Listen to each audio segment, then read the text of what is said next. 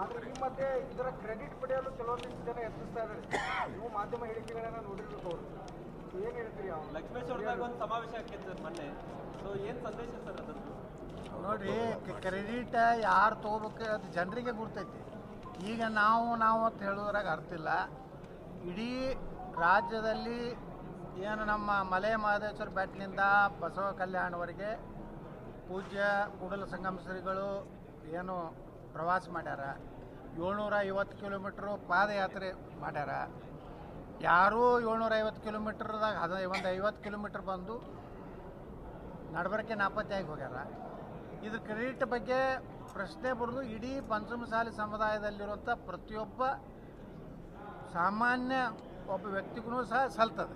ಇದೇನು ಒಬ್ಬರದೇ ಕ್ರೆಡಿಟ್ ಅಂತಿಲ್ಲ. ಅದು ಯಾರಿಗೆ ಹೆಚ್ಚು ಸಲ್ಬೇಕು ಯಾರಿಗೆ ಕಡಿಮೆ ಸಲ್ಬೇಕು ಅದು ಜನ ನಿರ್ಣಯ ಮಾಡ್ತಾರೆ.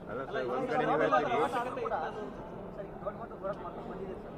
ಆದ್ರೆ ನಿಮ್ಮ ಕೆಲವು ಸಮಾಜದವರೇ ಇದಕ್ಕೆ ಮತ್ತೆ ಅಡ್ಡಗಾಲ ಹಾಕ್ತಾ ಇದ್ದಾರೆ. ನೋಡ್ರಿ ಯಾವಾಗಲೂ ಮಹಾಭಾರತ ರಾಮಾಯಣ ಹಿಡಿದು ಅದು ಒಂದು ವರ್ಗ ಇರೋದೇ ಆ ಪಂಚಪಾಂಡವರು ಕೌರವರು ಇದ್ದಿದ್ದಿಲ್ಲ ರಾಮಾಯಣದಾಗ ರಾವಣ ಇದ್ದಿದ್ದಿಲ್ಲ ಹಂಗೆ ಒಂದು ನಮ್ಮದ್ರೊಳಗೆ ಇರೋರಿ. ಅಣ್ಣತನಂಬರೇ ಇದ್ರಲ್ಲ ಮಹಾಭಾರತನಾಗ. ಯಾಕೆ ಕೂಡ್ತಾ ಇಲ್ಲ ಸರ್ ಹಾಂ. ಯಾಕೆ ಕೂಡ್ತಾ ಇಲ್ಲ? ಒಂದೇ ಅದು ಹೆಂಗೆ ಮಹಾಭಾರತನಾಗ ಯಾಕೆ ಕೊಡ್ಲಿಲ್ಲ? ಕೌರವ್ರು ಪಾಂಡವ್ರು ಯಾಕೆ ಕೊಡ್ಲಿಲ್ಲ ಹೇಳ್ರಿ ನೋಡೋಣ ಸರ್ ಒಂದ್ ನೀವು ಎಲ್ಲ ಒಂದು ಕಡೆ ಧರ್ಮ ಇರ್ತೈತಿ ಒಂದು ಕಡೆ ಅಧರ್ಮ ಇರ್ತೈತಿ. ಅಧರ್ಮ ಇದ್ದವ್ರು ಒಂದು ಕಡೆ ಇರ್ತಾರ ಧರ್ಮ ಇದ್ದವ್ರು ಈ ಕಡೆ ನಾವು ಇದ್ದವ್ರು ಎಲ್ಲ ಧರ್ಮದಾಗ ಅದೇ. ಕೆಲವೊಬ್ಬರು ಜನ ಬಂದು ಸ್ವಲ್ಪ ಬರಲೇ ಇಲ್ಲ. ಅಂತ ಇಂಥ ಪರಿಸ್ಥಿತಿಯಲ್ಲಿ ಇಪ್ಪತ್ತೈದು ಲಕ್ಷ ಕೊಡಿಸ್ತೀರಿ ಅಂತ ನೀವು ದೊಡ್ಡದೊಂದು ಫಿಗರ್ ಕೊಡ್ತೀರಿ. ಅದು ಬೇಸ್ ಏನು? ಬೇಸ್ ನೋಡಲಕತ್ತಿರಲ್ಲ ಇಪ್ಪತ್ತೆರಡಕ್ಕೆ ನಮ್ಮ ಪ್ರದರ್ಶನ. ಅವತ್ತು ನೋಡೋದು ನೋಡೋದಾಯ್ತು. ಇವತ್ತು ನಿಮ್ಗೆ ಕೇಳಲಿಕ್ಕೆ ಸರ್ ಹತ್ತು ಲಕ್ಷ ಜನ ಸೇರಿದಾಗ ಏನು ಇತ್ತು? ಕೂಡಲ ಸಂಗಮ ಸ್ವಾಮಿಗಳ ಏಳ್ನೂರ ಐವತ್ತು ಕಿಲೋಮೀಟರ್ದ ಒಂದು ಪಾದಯಾತ್ರೆ. ಅದರ ಪ್ರಭಾವ. ಜನರ ಮನಸ್ಸು ಮನಸ್ಸಿನಾಗ ಹೋಯ್ತು. ಹೌದಪ್ಪ ನಮ್ಮ ಏನು ಸಮ ಸಮುದಾಯದ ಬಡತನ. ನಾವು ಕೇವಲ ನಮ್ಮ ಸಮುದಾಯ ಕೇಳಿಲ್ಲ. ಎಲ್ಲ ಸಮುದಾಯ ತೊಗೊಂಡು ನಾವು. ಇವತ್ತು ಎಸ್ ಟಿಗೆ ವಾಲ್ಮೀಕಿ ಅನ್ನೋವಂಥದ್ದು ಹಾಲು ಮತ ಸೇರಿಸ್ಬೇಕು ಅನ್ನೋಂಥದ್ದು ಆದಿ ಬಣಿಜಿಗ ಕೂಡು ಒಕ್ಕಲಿಗ ಇಡೀ ಲಿಂಗಾಯತವನ್ನು ಒ ಬಿ ಸಿಗೆ ಸೇರಿಸ್ಬೇಕು ಅನ್ನೋ ನಮ್ಮ ಹೋರಾಟ ಒಂದಕ್ಕೆ ಮಿ ಸೀಮಿತ ಇಲ್ಲ ನಮ್ಮ ಶಕ್ತಿ ನೀವು ನೋಡ್ಬೇಕಾದ್ರೆ ಇಪ್ಪ ನಾಳೆ ಇಪ್ಪತ್ತೆರಡಕ್ಕೆ ನಮ್ಮ ಪ್ರದರ್ಶನ ನಮ್ದು ಬಣ್ಣ ಬಯಲಾಗ್ತೈತಲ್ಲ ಇಪ್ಪತ್ತೆರಡಕ್ಕೆ.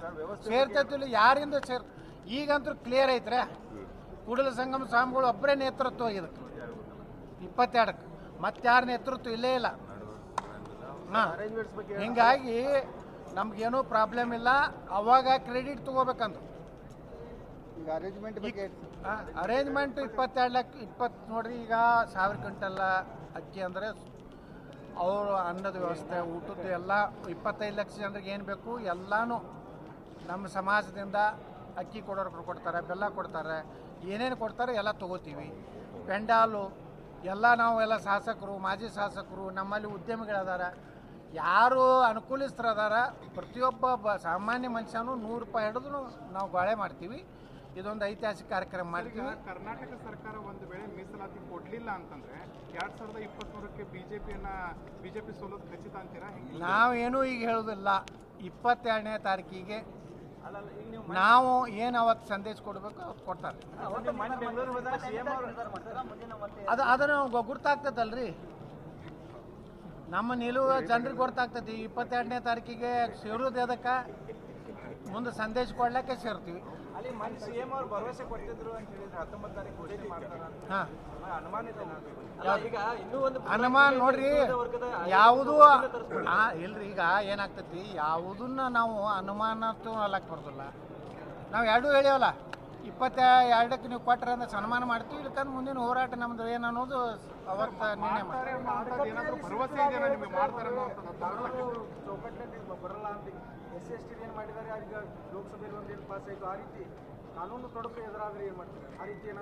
ನಾವು ಕಾನೂನು ತೊಡಕ ಆಗಬಾರ್ದತ್ತೆ ಮುಖ್ಯಮಂತ್ರಿ ಬೊಮ್ಮಾಯಿ ಅವರು ಕಾನೂನಿನ ಅಡಿಯಲ್ಲೇ ಇದನ್ನು ಬೊಮ್ಮಾಯಿ ಅವರು ಎಲ್ಲ ಅದಕ್ಕೆ ಏನು ಪ್ರೊಸೆಸ್ ಮಾಡಬೇಕು ಅದನ್ನು ಮಾಡ್ತೀನಿ ಅಂತ ಹೇಳ್ಯಾರ.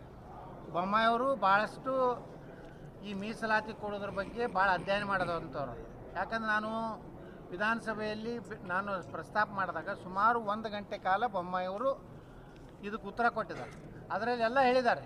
ಏನೇನೋ ನಮಗೆ ಕಾನೂನು ತೊಡಕು ಬರ್ತಾವೆ, ಏನೇನೋ ಅದನ್ನು ಎಲ್ಲ ಕೂಲಂಕುಷವಾಗಿ ಚರ್ಚೆ ಮಾಡಿ ನಮ್ಮ ಎ ಬಿ ಪಾಟೀಲ್ರು, ನಮ್ಮ ದಿನೇಶ್ ಪಾಟೀಲ್ರು, ಎಲ್ಲ ಕಾನೂನಿನ ನಮ್ಮ ಇವರದಾರ ವಕೀಲರು, ಅದನ್ನು ಯಾವುದೇ ರೀತಿಯಿಂದ ಕಾನೂನಿನ ವ್ಯಾಪ್ತಿಯಿಂದ ಇದು ಆಗಿ ನಾಳೆ ಕೋರ್ಟಿಗೆ ಹೋಗಲಾರ್ದಂಗೆ ವ್ಯವಸ್ಥಿತವಾಗಿ ಮಾಡೋದ್ರ ಸಲುವಾಗಿನೇ ಬೊಮ್ಮಾಯಿಯವರು ಅದನ್ನ ಎಲ್ಲ ಪ್ರೊಸೆಸ್ನ ಹತ್ತೊಂಬತ್ತನೇ ತಾರೀಕು ಒಳಗಾಗಿ ಮುಗಿಸಿ ಹತ್ತೊಂಬತ್ತು ಘೋಷಣೆ ಮಾಡ್ತಾರೆ